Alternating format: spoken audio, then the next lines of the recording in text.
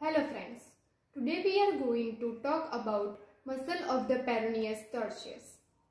It is a separated part of the extensor digitorum longus and may be regarded as its fifth tendon. The peroneus tertius muscles, also known as fibularis tertius muscles, is a muscle of the anterior compartment of the leg. Despite its name suggesting it is in the lateral compartment.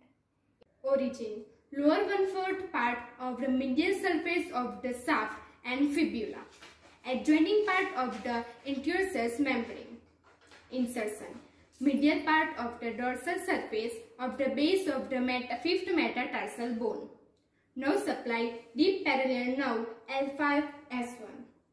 Action Dorsiflexion of the foot and evertor of the foot.